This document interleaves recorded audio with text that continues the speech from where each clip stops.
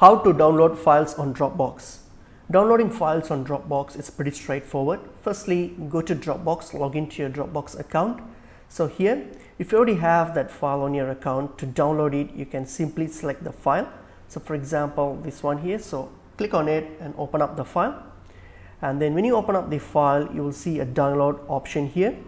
So once the, on, on top of the file, you will see a download option. Simply click on the download option and then that will download the file to your computer. So it's as simple as that. So that's it, the file has been downloaded.